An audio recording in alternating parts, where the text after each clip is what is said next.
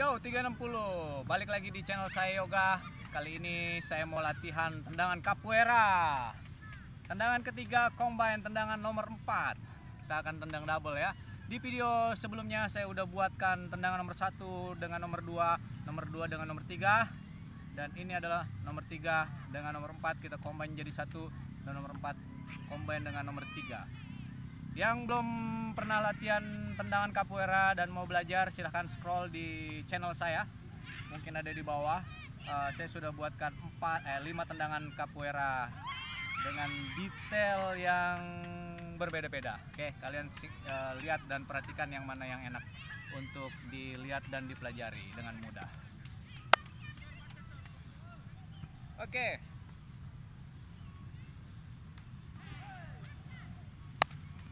langsung kita mulai dari sini. Ya uh, jangan lupa kita akan tendangan nomor 4 kita harus selalu mempelakangi langsung tumitnya di belakang. Terus tangannya sikut langsung tendang.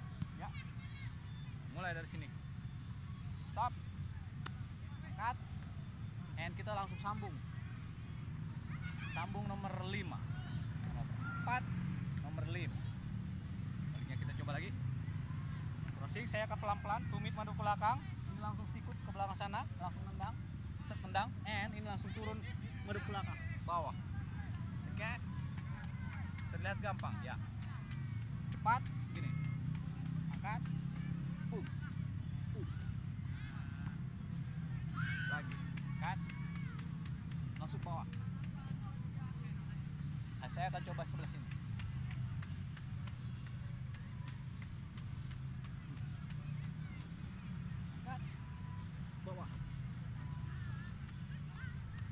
sama armada. Hello compasso ya. Jadi sebenarnya uh, kuncinya itu kuncinya itu pas lagi nendang begini pas lagi nendang pertama pas dari sini kalian nendang pertama ini kuncinya adalah begini tuh.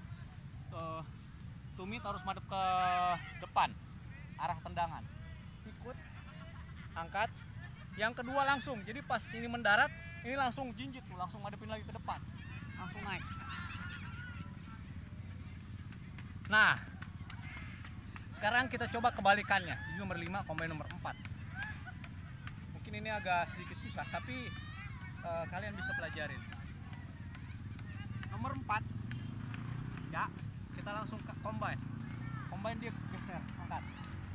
Baliknya sama. Combine